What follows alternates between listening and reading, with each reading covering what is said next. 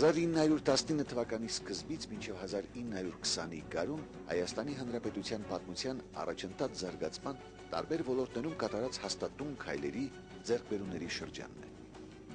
Հայաստանի առաջի հանրապետության շրջանում էր, որ ստորագրվեց Սևրի դաշնագիրը, որով ամայն աշխարհը ճանաչում էր արևմտահայերի իրավունքը արևմտյան Հայաստանի նկատմամբ։ Հայաստանում կատարվող անցքերին տեղյակ եւ հաճախ անտեղյակ աշխարհասփյուր հայությունը մակարում է կենցաղային հարցեր լուծելու ինքնահաստատման համար։ Նրա առանձին ներկայացուցիչներ մեծ հրճակ են ձեռբերում մշակույթի, տնտեսության տարբեր բնագավառներում։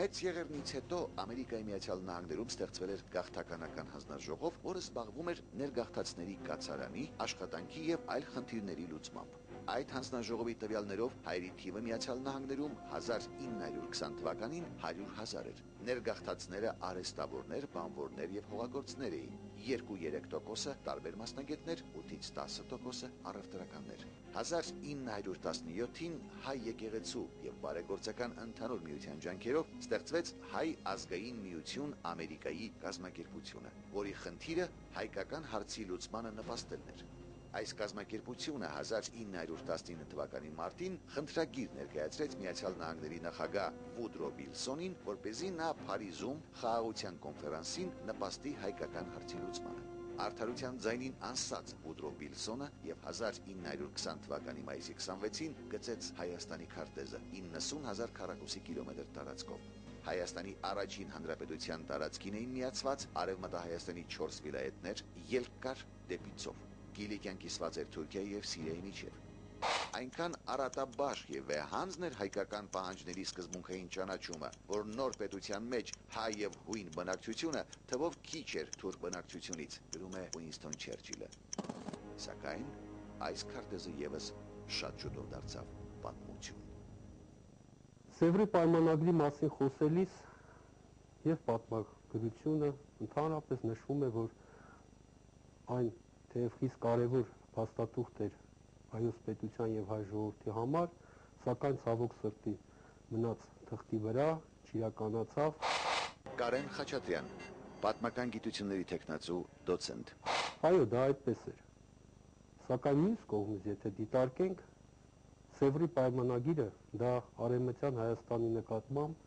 հայ ժողովրդի իրավունքների միջազգային ճանաչումն էր, որը անտեսել կարծում եմ չի կարելի։ Հայության հույսերի գագաթնակետն էր Փարիզի Սևր Արվարձանում 1920 թվականի օգոստոսի 10-ին ստորագրված հաշտության պայմանագիրը Անտանտի երկրների եւ առաջին աշխարհամարտում պարտված Թուրքիայի միջև։ Պայմանագրով Թուրքիան հայտարարում էր, որ Հայաստանը ճանաչում է որպես ազատ եւ անկախ պետություն։ Սևրի պայմանագրով ԱՄՆ նախագահ Վուդրո Վիլսոնը հայ ժողովրդի դեպ մեծ բարեկամ կայացրեց իր իրավարար վճիռը հայ-թուրքական սահմանի վերաբերյալ, որով հայոց պետության սահմանները ընդարձակվելու էին եւ մոտավորապես 90000 քառակուսի կիլոմետր տարածքին, որ տրվում էր Հայաստանի պետությանը արևմտյան Հայաստանի տարածքներից գումարվում էր այդ ժամանակ գոյություն ունեցող Հայաստանի առաջին հանրապետության տարածքը, որը զբաղեցնում էր մոտ 70000 քառակուսի կիլոմետր տարածք եւ հայոց պետությունը, անկախ պետությունը բավականին հզոր գործոն էր դառնալու տարածաշրջանում, ունենալով ավելի քան 160 հազար քառակուսի կիլոմետր տարածք, ինչպես նաև եւ դեպի Սերծո։ Հայաստանի Հանրապետությանն էին միանում Էրզրումի, Տրապիզոնի, Վանի եւ Բիթլիսի նահանգները։ Կիլիկյան կիսվում էր Թուրքիայի եւ Սիրիայի միջև, սակայն մեկ տարի անց Անկարայի ֆրանս-թուրքական պայմանագրով Կիլիկյան վերջնականապես հանձնվեց Թուրքիային, իսկ Անտանտայի երկրները աստիճանաբար հրաժարվեցին Սևրի դաշնագրի հայկական հարցին վերաբերող կետերից։ Իր հերթին Կեմալական Թուրքիան չճանաչեց Օսմանյան Թուրքիայի ստորագրած պայմանագիրը։ Քաղաքական իրադրության փոփոխությունների պատճառով իրոք մնաց թղթի վրա, ապա Վիլսոնի արբիտրաժային ռեժիմը, իրավարար վճիրը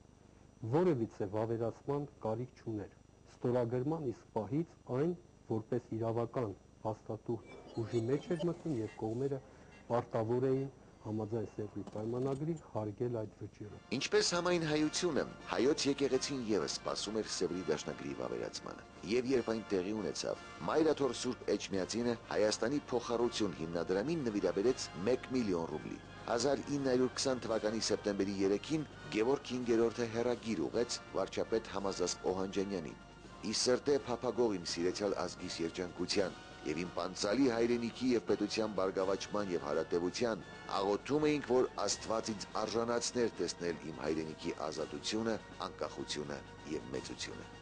Սևրի դաշնագրի ստորագրմամբ մեծ Հայաստանին վերաբերող ակտը կատարված համարելով նորին սրբությունը օգոստոսի 29-ին Էջմիածնի Մայր տաճարում Սուրբ Պատարագ է մատուցում եւ օրհնում ու սրբագործում անկախ միացյալ Հայաստանի տոնը։ Ցավոք սրտի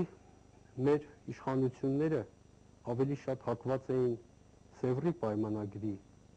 ավելի կարևորություն տալուն եւ դա բնական է։ Իհարկե Սևրի պայմանագիրը առավել ծանրակշիռ էր, սակայն այստեղ խնդիր է առաջանում, որ նրա տակ դրված չէր մի պետության ներկայացուցիչ ստորագրությունը, որը մեր տարածաշրջանում բավականին ակտիվ քաղաքականություն էր վարում եւ նրանից շատ բան էր կախված։ Դա խորհրդային Ռուսաստանն էր եւ դրված չէր ոչ այն պատճառով, որ Սևրի պայմանագիրը փաստորեն մահապատժի վճիռ էր Թուրքիային, միգուցե եւ նաեւ այդ պատճառով իմ խորին համոզմամբ դրված չէր, որովհետեւ Սևրի պայմանագիրը առաջի հերթին հակասում էր հենց խորհրդային Ռուսաստանի շահերին եւ Ռուսաստանը, որը գիտենք հարյուրամյակներ շարունակ մեծ ջանքեր էր գործադրել Անդրկովկասյան տարածաշրջանում իր ազդեցությունը տարածելու համար, ամենևին էլ ցանկություն չուներ, որպեսի հայությանը անկախություն տրվի Եվրոպայի կողմից։ Այսինքն Հայաստանը իր ազդեցության ոլորտից հեռու լինի։ Սկզբում դրամատիկ, ապա ողբերգական իրադարձությունները սկսվում են 1920 թվականի ամռանից։ Հայ բոլշևիկյան, հայ-ադրբեջանական բախումներով ու բանակցություններով, հայ-վրացական հարաբերություններում առաջացած վիճելի խնդիրներով եւ ի վերջո թուրք-հայկական չհայտարարված պատերազմով։ 1920 թվականի ապրիլին Հայաստանի առաջին հանրապետությունը հայտնվեց բավական բարդ քաղաքական կացության մեջ։ Խորհրդային Ռուսաստանը, հենվելով խորհրդայնացած Ադրբեջանի վրա, ձգտում էր Ղարաբաղ Զանգեզուր Նախիջևանով կապվել Քեմալական Թուրքիայի հետ։ 20 թվականի ամռանը տեղի էր ունենում մեծեցում ու համագործակցություն բոլշևիկների եւ քեմալականների միջև։ Արարատ Հակոբյան, պատմական գիտությունների դոկտոր պրոֆեսոր։ Ստացվեց այնպես, որ դեռևս 19 թվականից ուրեմն անհրաժեշտ էր պայքար անտանտի դեմ ըստ որում բոլշևիկները խորհրդային Ռուսաստանը քաղաքացիական պատերազմի մեջ էր սպիտակներին այսպես կոչված օժանդակում էին անտանտի երկրները զենքով, ֆինանսով եւ այլը, նույնը անտանտի դեպ պայքարում են նաև քեմալականները, նրանք էլ պայքարում են երկիրը չմասնատելու, այսինքն երկրի ամբողջականությունը պահպանելու նպատակով։ Այստեղ երկուսի շահերը համընկան։ Հանձին էսքեմալականների խորհրդային Ռուսաստանը տեսնում էր կարմիր հեղափոխությունն արևելքում տարածող դրոշակագրի։ Այն պատրանքն էր ստեղծել, որ իբր քեմալականները հեղափոխականներ են, բոլշևիկներ են, ի վերջո նպատակ ունեին համաշխարհային հեղափոխության հասնել, դրա համար էլ փորձում էին քեմալականներին խրախուսել ոսկով, ֆինանսական օգնությամբ, ուրեմն նաև ռազմական զենք զինամթերքով, իբր թե թեմալական Թուրքիան կարող է դառնալ համաշխարհային հեղափոխության արևելյան երկրներում մուսուլմանական աշխարհում որպես միջնաբերդ հետագայում այդ հեղափոխությունը տարածելու ամբողջ մերձավոր արևելյան երկրներում այնինչ Քեմալին եւ նրա շրջապատին պետք էր խորհրդային Ռուսաստանի զենք ու ֆինանսները անտանտի դեմ կռվելու համար։ Ապրիլ ամսին Ադրբեջանը գաղտնի պայմանագիր կնքեց Թուրքիայի հետ։ Դրան հաջորդեց Ադրբեջանի հեղկոմի վերջնագիրը Հայաստանի կառավարությանը, Ղարաբաղն ու Զանգեզուրը հայկական ուժերից դատարկելու պահանջով։ Այդ ժամանակ դեռևս շարունակվում էին կռիվները Նախիջևանում։ Նժդեի հրամանատարությամբ հայկական զինված ուժերը շուտով Նախիջևանից դուրս շպրտեցին թուրք-ազերիների զորաջոկատներին։ Հետևեց 11-րդ Կարմիր բանակի հրամանատարության վերջնագիրը, որ ստորագրել էր Օրջունիկիձը։ Հայաստանի եւ մեր բարեկամ խորհրդային Ադրբեջանի սահմաններում շարունակվում են պատերազմական գործողությունները Հայաստանի եւ Ադրբեջանի միջև։ Ռուսաստանի բանվորագյուղացիական կառավարությունն իր սրբազան պարտքն է համարում բոլոր ուժերով օգնության հասնել խորհրդային Ադրբեջանին։ հանուն Ռուսաստանի սոցիալիստական դաշնակցային հանրապետության պահանջում եմ Հայաստանի կառավարությանն անմիջապես դադարեցնել ռազմական գործողությունները Ադրբեջանում եւ իր զորքերը դուրս հանել նրա սահմաններից։ Կովկասի ճակատի հեղափոխական բանակի խորհուրդ Օրջոնիկիձե Բոլշևիկյան սպառնալիքները շուտով գործի վերածեցին թուրքերը։ 1920 թվականի սեպտեմբերի 23-ին առանց պատերազմ հայտարարելու թուրքական զորքերը հարձակվեցին Հայաստանի վրա։ Քեմալականների կարծիքով իրենց համար ամենաբարենպաստ առիթն էր ընդմիշտ վերջ տալու հայկական հարցին։ Փաստորեն խորհրդային Ռուսաստանի գիտությամբ եւ լուր համաձայնությամբ սեպտեմբերի վերջերին թուրքական զորքերը անցան հարձակման Հայաստան։ Հայաստանը հայտնվեց փաստորեն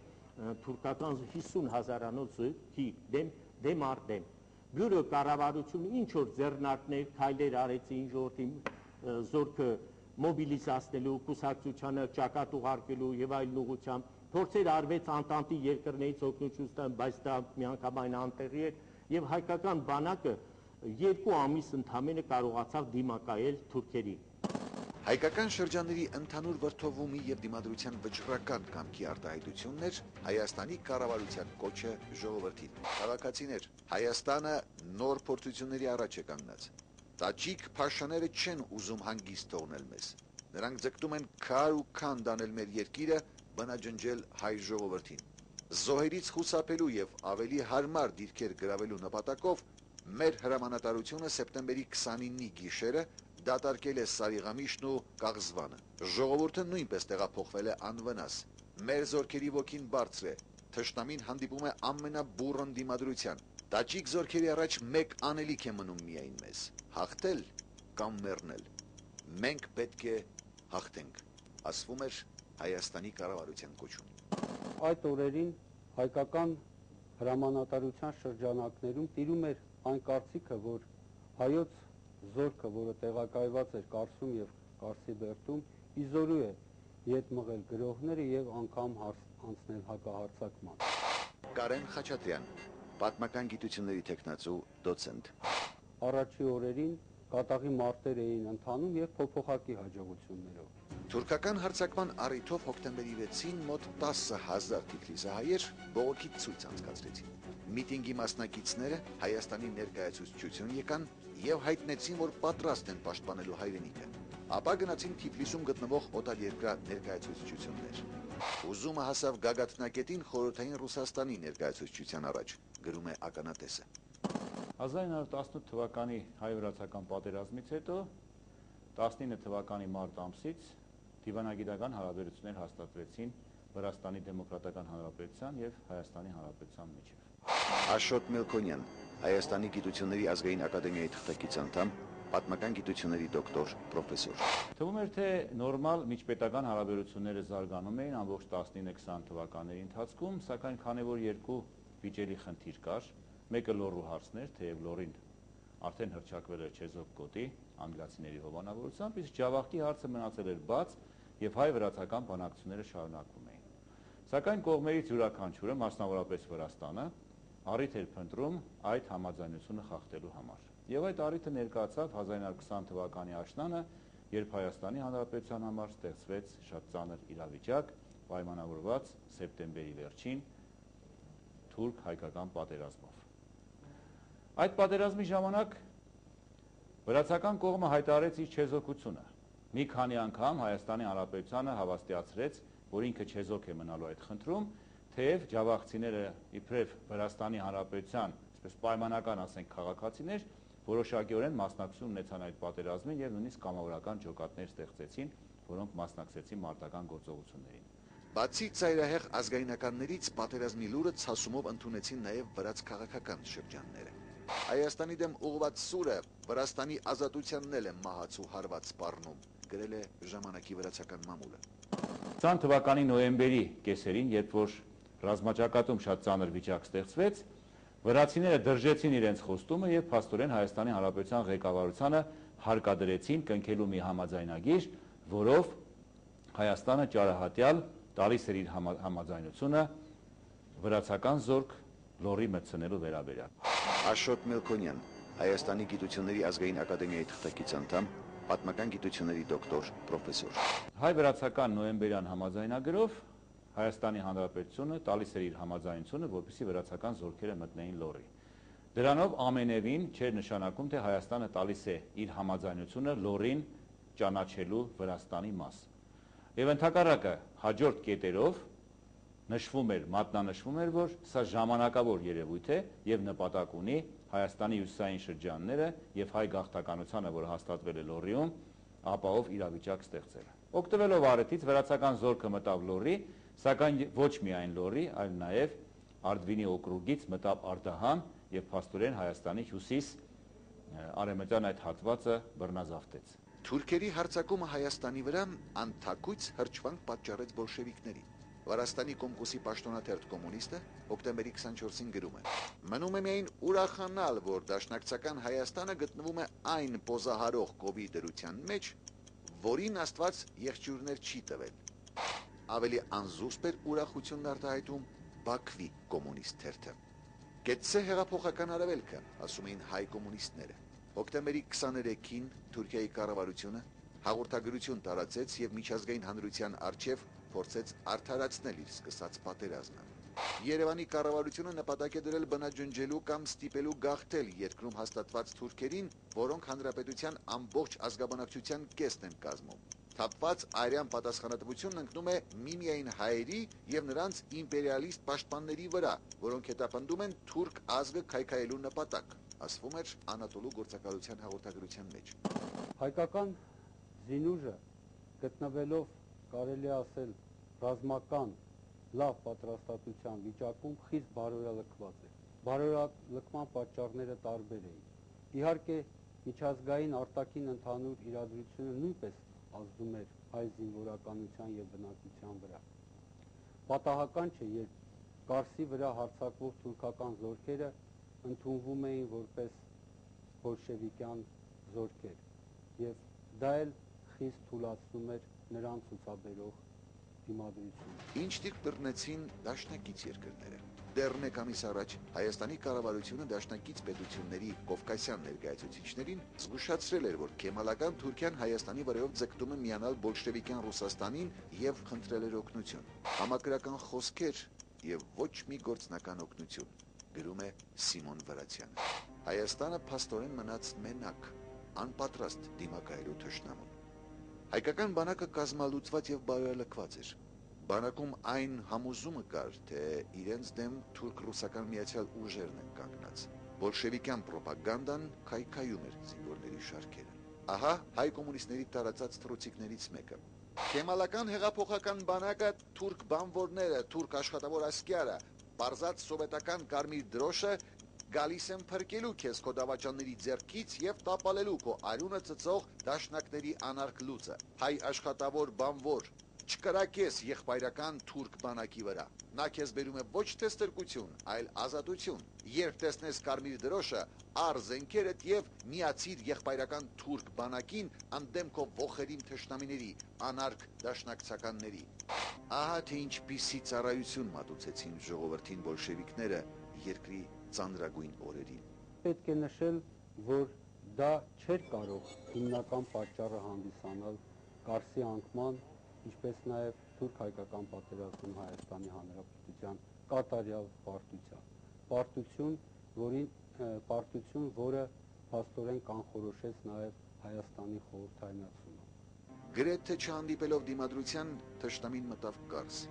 Կարսի անկումից հետո թուրքերն անարգել մտան Ալեքսանդրապոլ եւ սկսվեցին հաշտության բանակցություններ Թուրքիայի եւ Հայաստանի պատվիրակությունների միջև։ Նոյեմբերի 18-ին ստորագրվեց զինադատար Սարգիս Արարատյանի եւ Քյազիմ Ղարաբեկյանի միջև Արարատ Հակոբյան, պատմական գիտությունների դոկտոր պրոֆեսոր։ Մինչ այդ մի քանի փորձ արվել է զինադատարի, բայց արդյունքի չէին ասել, վերջնականորեն Հայաստանը հարկադրված հանրապետություն ընդունեց թուրքերի վերջնագրի խիստ պայմանները եւ նոյեմբերի 18-ին Ալեքսանդրապոլում զինադատար կայացվեց, մեկ շաբաթ հետո պետք է սկսվեին հաշտության բանակցությունները։ Ստացվեց այնպես, որ բյուրո կառավարությունը, որի հիմնական դեպքերը հանդիսանում են Համազած Պոհանջանյանը եւ Ռուբենը, Ռուբեն Տերբինասյանը, նրանք տեսան, որ իրենց քաղաքական կուրսը գիծը ձախողվել է հանրապետությունը փաստորեն պարտության եզրին է ըստ էության կործանման։ Նոյեմբերի 23-ին հայկական պատվիրակությունը մեկնեց Ալեքսանդրապոլ, նույն օրը վարչապետ Օհանջանյանը խորհրդարանին ներկայացրեց կառավարության հրաժարականը։ Պարոններ ասաց նա, դուք զոհ եք փնտրում փոթորքի մատնված նավը փրկելու համար եւ ուզում եք, որ ես լինեմ այդ զոհը։ Եթե այդ է հայրենիքը փրկելու միջոցը եւ հայ ժողովրդի կամքը, ես խոնարհվում եմ նրա առաջ։ Հովանես Քաջազնունին, ում խորհրդարանի դաշնակցական խմբավորումը հանձնարարել էր կազմել նոր կառավարություն, բանակցություններ սկսելով կուսակցությունների հետ եւ ընդհանուր հայտարարի չգալով նույնպես հրաժարական ներկայացրեց։ Միաժամանակ վարչապետի պաշտոնում առաջարկեց իր տեխնացուին, գյուղատնտեսության եւ պետական գույքերի նախարար Սիմոն Վրացյանին։ Վերջինս համաձայնեց եւ օրհասական պահին ընդունեց կառավարությունը նոյեմբերի 24-ի դա խորհրդարան փաստորեն վերջի նիստն էր, հավանություն տրվեց Սիմոն Վրացյանի կառավարությանը, որ իր բովանդակությամբ ուներ ցախ ռուսամետ դիրքորոշում, որովհետև մերոնք ուզում էին այսպես թե այնպես շահագրգռել խորհրդային Ռուսաստանի, որ հնարավորին թուրքերի վրա ճնշում գործադրի մի քիչ նպաստավոր պայմանագիր կնքելու նպատակով։ Սակայն այս կառավարությունը վիճակված էր ընդամենը 10 օր ղեկավարել երկիրը։ Դաշնակցության շարքերում փաստորեն պարակտում էր առաջացել. Սիմոն Վրացյանի կաբինետը փորձեց թուրքերի հետ ընդհանուր լեզու գտնել եւ նոյեմբերի 24-ին հայկական պատվիրակությունը մեկնեց Ալեքսանդրապոլ Ալեքսանդր Խատիսյանի գլխավորությամբ եւ նոյեմբերի 25-ին Ալեքսանդրապոլում Գյումրիում սկսվեցին հաշտյան բանակցություններ Քյասին Կարաբեկիրի հետ։ Թուրքերի առաջի պահանջը այն եղավ, որ Հայաստանը պետք է պաշտոնապես հայտարարություն հրապարակի Սևերի պայմանագրից հրաժարվելու վերաբերյալ եւ նոյեմբերի 26-ի նահա այդ պահանջը դրեց նոյեմբերի 27-ին Հայաստանի կառավարությունը ուրեմն հայտարարություն արեց դրանից հրաժարման վերաբերյալ այդ նույն ժամանակ Հայաստան վերադարձավ Բորիս Լեգրանը նոյեմբերի 19-ին նա Պոհանջանյանի հետ բանակցեց արդյունքի չհասավ եւ արդեն երբ գնում էին Ալեքսանդրապոլի բանակցությունները Բորիս Լեգրանն արդեն լրիվ պրակտիկ գործունեություն ձեռնարկեց Հայաստանի գործընթացը խորհրդայնացման գործընթացը իրականացնելու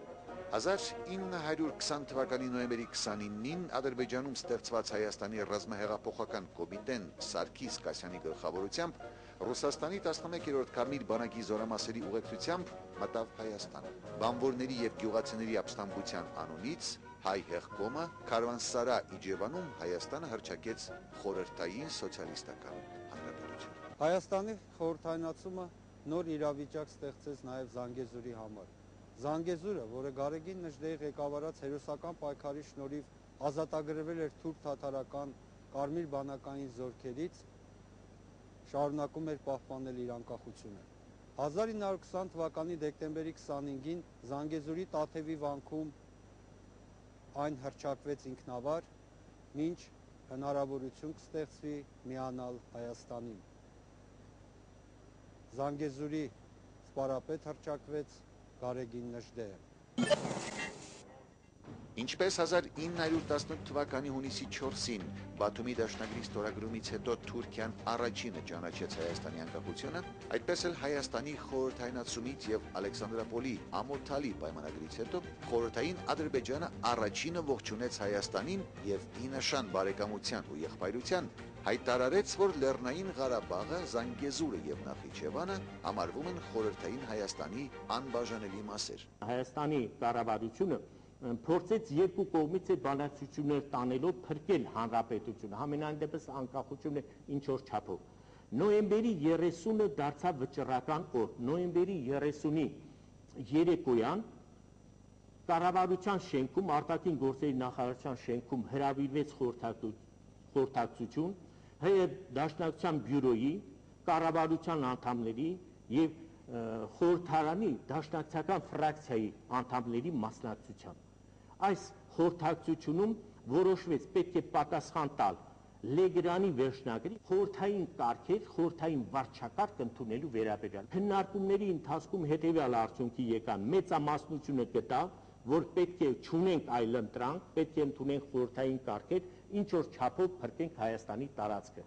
դրոն ելույթ ունեցավ Քաջազնունի խորհրդային Վրացյանը, ինչպես նաև Դրաստամատ Կանայանը, որ ռազմական նախարար էր, ինքն ասեց, որ մենք ճունենք զորք, ռուսի դեմ հայ զինվորը ռուսի դեմ չի կռվի, բնականաբար պետք է ընդունեն խորհրդային ռեժիմ։ Մինչև հայ հեղկոմի ժամանումը Երևան իշխանությունը ժամանակավորապես հանձնվեց զինվորական հրամանատարությանը դրաստամատ կանայանի գլխավորությամբ։ Այդ իշխանությանը կից Ռուսաստանի կոմիսար նշանակվեց Սիլինը, իսկ Ալեքսանդրապոլի թուրք հայկական պայմանագիրը ստորագրել վիճակված էր Խատիսյանի գլխավորած պատվիրակությանը։ Պատվիրակություն, որին նշանակած կառավարությունն արդեն գոյություն չուներ։ Նոյեմբերի ուրեմն 30-ի ուշ գիշեր Վրացյանը հերախոսի մոտ կանչվեց, որտեղ Խատիսյանը նրան հայտնեց, որ թուրքերը եւս վերջնագիր են ներկայացնել իրենց պայմանները ընդունելու վերաբերյալ։ Նման պայմաններում տեսան, որ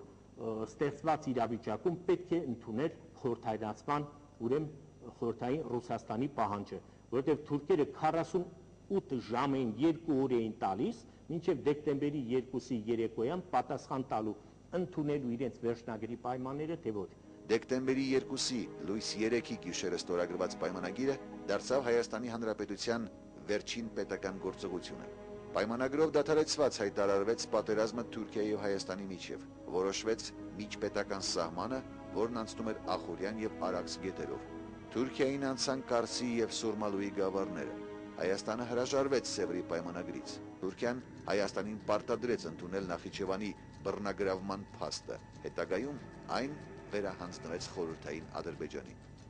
Դեկտեմբերի 1-ի գիշերը այն էլ Հակոբ Տեր Հակոբյան նկարագրում է, ասում է էլեկտրականություն հետո անջատված էր մոմի լույսերի,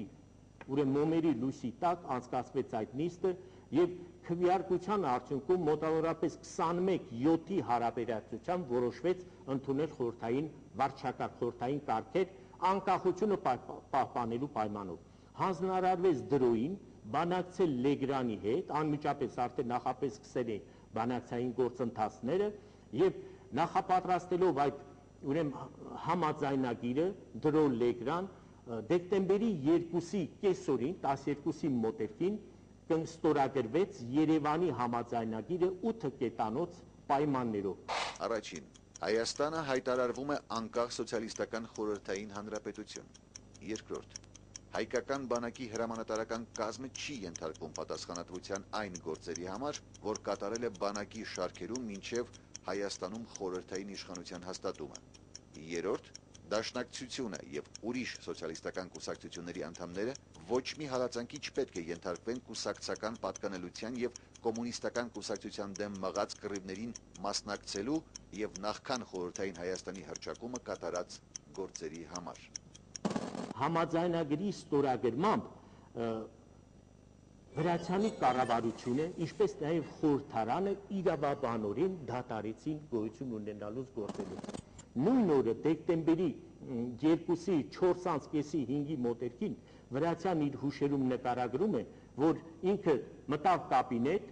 դուրս եկավ, փակեց կաբինետի դուռը, հանձնեց պահակախմբին, ասելով, որ մենք գնում ենք, բայց հետագայում իհարկե գուցե դա ծաղր, թե ինչ է, մենք հետագայում նորից են գա, գալու ամուր պահեք բանալիները։ Այսպիսով Հայաստանը խորհրդայնանում էր չափազանց խաղաղ կերպով, առանց արյուն թափելու։ 1920 թվականի դեկտեմբերի 5-ին Երևան ժամանեց հայ հեղկոմը ռուսական կարմիր բանակի ուղեկցությամբ եւ իշխանության անցնելու առաջին օրից թշնամական դիրք բռնեց ոչ բոլշևիկ տարերի նկատմամբ։ Լեգրանի հետ ստորագրված պայմանագիրը չեղյալ հայտարարվեց։ Գործի անցավ չեկան եւ սկսվեցին զանգվածային ձերբակալությունները։ Հայաստանի առաջին հանրապետության անկումից 46 տարի անց ահա ինչ մարգարեական տողեր է գրել մեծանուն քաղաքական գործիչ Սիմոն Վրացյանը։ Ներկա խորհրդային Հայաստանը շարունակությունն է Հայաստանի հանրապետության։ Եթե գոյություն չունենար Հայաստանի Հանրապետությունը իր ազգային կազմով ու նկարագրով, այսօր գոյություն չեր ունենա եւ խորհրդային Հայաստանը ազգային կազմով ու դիմագծով։ Ժամանակները հղի են դեպքերով, պատմությունը վերջացած չէ։ Մենք հավատում ենք, որ Հայաստանը նորից կլինի ազատ եւ անկախ, ավելի լայն ազգային սահմաններով, ընդունակ տեղ տալու իր ծոցում իսփյուրս աշխարհի հողմացրիվ եղած բոլոր զավակներին։ Սիմոն Վրացյան 1958 թվական